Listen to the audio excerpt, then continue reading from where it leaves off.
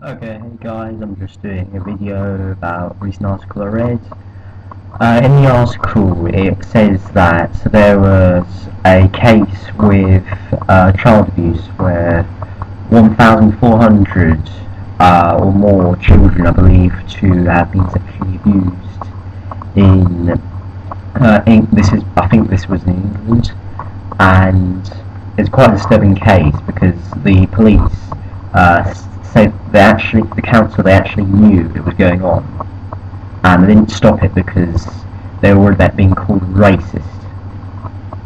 And it's not that they were actually being racist at all, it's that they worried that they would be labelled racist. I just thought I'd talk about the problems with misuse of the word racism and other words in today's society.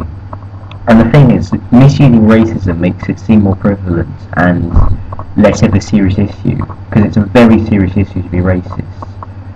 And the thing is, racism isn't just stating someone's race, or just saying that these, the only people doing it, uh, happens to be of this label or race. Racism is discriminating specifically against a group of people for their race. So, for example, it could be stating, let's say, uh, someone on the internet says, uh, blacks can't be atheists, which is something I've actually seen quite a lot. That is racist because it might disencourage black atheists or blacks who are becoming atheists and might disencourage them and it is actively discriminating saying that they can't be an atheist. And I didn't actually really comment about that. But st stating uh, that the only groups of people that have been cited uh, with in gang rapes and stuff uh, are a different race of the lo locals isn't, in my opinion, totally racist. I mean, sure, it might seem offensive, but if it's true, then it's a serious issue. And I really think that they need to stop this. And I need to, race, racism needs to be taught better, because it's kind of disgusting that this could even happen. And there was over 1,400 children, and there was even a child that said it was part of growing up to be gang raped in the village. And it's quite extremely disturbing. And they've issued a huge apology about it and that they failed the young people of the town.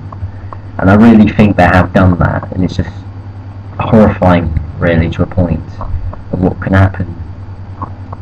And I've been thinking about terms like Islamophobia uh, in places where, let's say, uh, you might state that someone says that people are they're getting raped, and most of the people they're getting raped are being raped by members of Islam.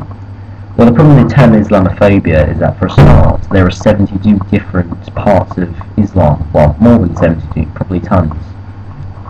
And you can't really be scared of something that's so vastly different. I mean, for a start, not even forgetting that it's kind of hard to be scared of something if you don't personally believe in it. I mean, couldn't you just say that the people who are members of Islam themselves are Islamophobes because they they say that they fear their gods, they fear Allah, and that other people should fear. So isn't that technically describe Islamophobia itself?